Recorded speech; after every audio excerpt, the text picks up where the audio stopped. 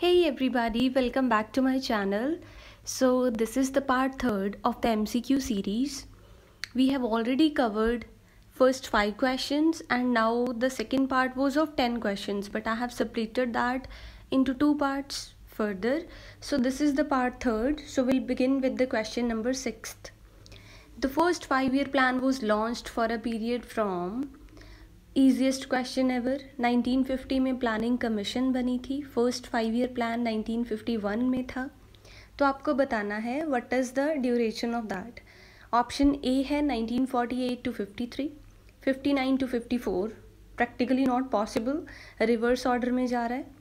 51 to 56 55 to 60 so this you have to tell in the comment section again question number seventh To protect goods produced in India from imports, government made use of.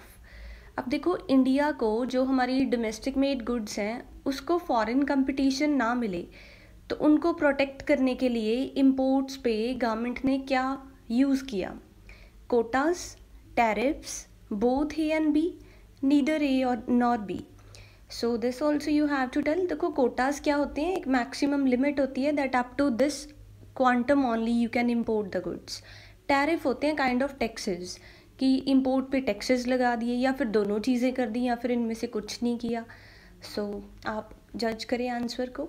ये सब कुछ cover किया हुआ किया हुआ है हमने already videos में तो आप वीडियोस भी देख सकते हैं again if you are not clear with this next question is question number eight which one of the following is not a central problem of an economy so there was some mistake in typing so I just edited like this so the right question is which one of the following is not a central problem of an economy what to produce how to produce from whom to produce or all of these तो आपको इसमें से कुछ एक answer बताना है हमारी जो सेंट्रल प्रॉब्लम्स हैं वो कौन कौन सी हैं और इनमें से कौन सी नहीं है ठीक है क्वेश्चन नंबर नाइन्थ है dash economy is the economy in which means of production are owned controlled and operated by the government मैंने आपको कुछ ट्रिक्स भी बताई हैं कि गवर्नमेंट का मेन मोटिव क्या है। तो अगर गवर्नमेंट सारे सोर्सेज को रिसोर्सेज को प्रोडक्शन मींस ऑफ़ प्रोडक्शन को ओन कर रही है कंट्रोल एंड ऑपरेट कर रही है so what kind of economic structure is this is it mixed economy socialist economy capitalist economy और none of these question number tenth Schedule dash comprise of industries which would be exclusively owned by the state.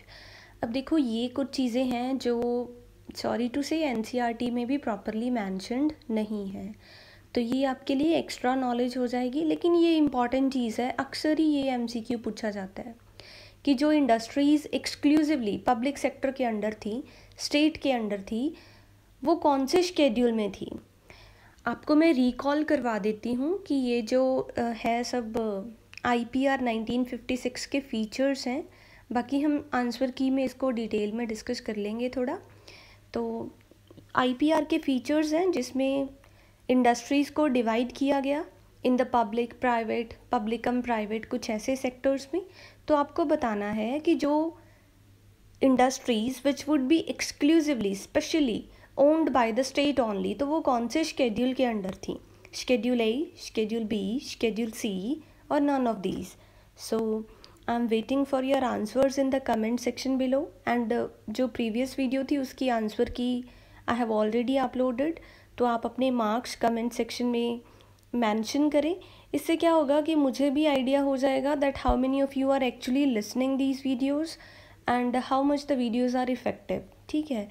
और आपके लिए भी एक अच्छा pastime है educational pastime है। बाकी लॉकडाउन मोटिवेशन पे एक वीडियो बनाएँगे वेरी सुन उससे पहले कुछ चार पाँच एम सी क्यू वीडियोज़ आएँगी तो उसके रिस्पॉन्स पे डिपेंड करेगा। Next M C Q videos continue करनी है या नहीं? तो आप ज़्यादा से ज़्यादा शेयर करें लाइक करें कमेंट करें सो so दैट मुझे आइडिया हो कि आप लोग इस चैनल से जुड़े हुए हैं। Then only I go for the further videos so thank you so much for watching